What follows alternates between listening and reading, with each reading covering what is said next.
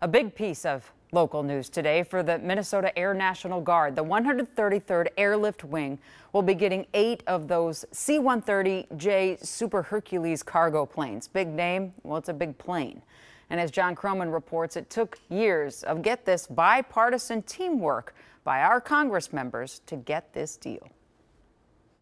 You are the best and the brightest and that's why it was easy to fight for you. In a big hangar at Fort Snelling, a celebration of a heavy lift.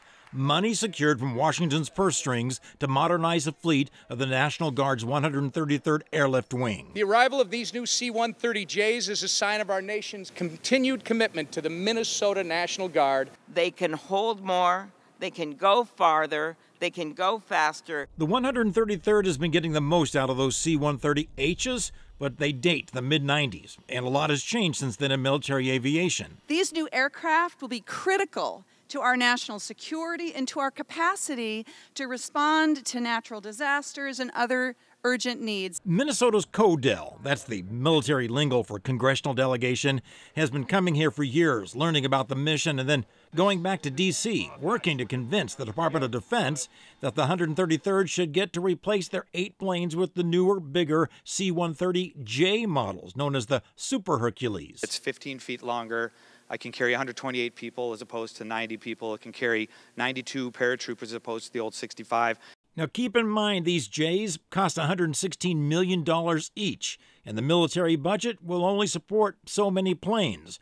Failure to win this competition would jeopardize the 133rd's future and the 1,200 full and part time jobs here. When we learned that we might be at risk, uh, you know, we really amplified what it is that the 133rd does personnel readiness, the maintenance readiness, the deployability, the medical readiness. Big part of the pitch being located next to this airport. When you can have a viable flying unit in a major airline hub here, you have a breeding ground for pilots. It'll probably be a couple of years before we see one of these C-130J model Super Hercules aircraft here on the base, but this is a milestone moment because this money means that the 133rd will continue flying.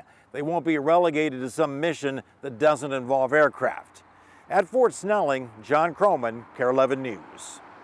Big news for our Guard for sure. The other Guard units in the country getting those models of planes Hartford, Connecticut, Peoria, Illinois, and Great Falls, Montana.